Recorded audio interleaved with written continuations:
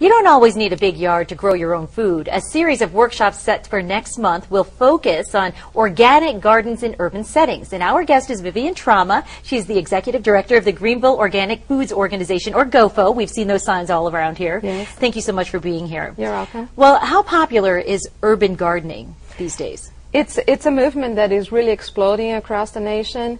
And here in Greenville, uh, we had a very successful urban farm tour um, hosted by GOFO a couple of months ago. So it's it's really getting very popular here too. Yeah, we actually have some pictures from uh, that urban farm tour where about 700 people, you tell us, actually visited Yes. these farms around Greenville. How many of them are exist in this area?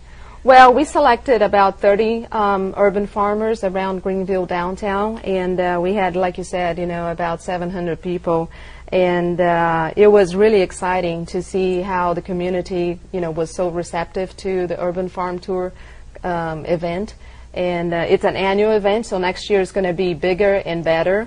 Um, we were very excited. We had workshops, so people learned about, um, like for instance, that one is uh, learning about setting up a, a raised bed garden. Oh, and so as part of that popularity, you're going to build on that with the series of workshops that are set to take in place in July every Exactly. Saturday. And organic farmer uh, Jeff Weber is Yes. actually, he gave us a preview just the Yes, other day, right? was- Well, yes.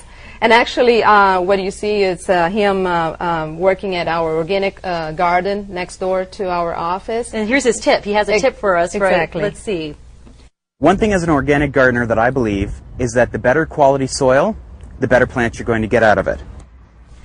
So he's going to teach us about some of the basics about companion planting, right? That's what he's doing right Exactly. there? You see him planting a marigold, which is uh, really good because, first of all, it attracts the beneficial insects for pollination and things like that. And also, the marigold puts out really uh, uh, strong scent that uh, keeps some, uh, some of the, the bugs away. And then these are good bugs that you want, though, right? Exactly. right. Those are bees, you know, working really hard on pollinating that squash uh, flower.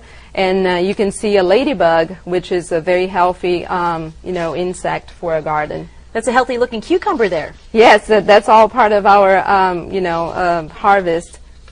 Great. Well, the organic war- war- gardening workshops take place every Saturday in July, and it's from 8:30 until 12:30. Is that right? At your GoFo headquarters. Correct. Yes, uh, downtown Greenville, and uh, we need uh, people to pre-register because we have a limited sitting um, for the workshop. So um, I think people will be very happy with uh, with the topics. And we'll put a link to your website on our Excellent. website. Great. Yes. Well, we'll join you a little bit later.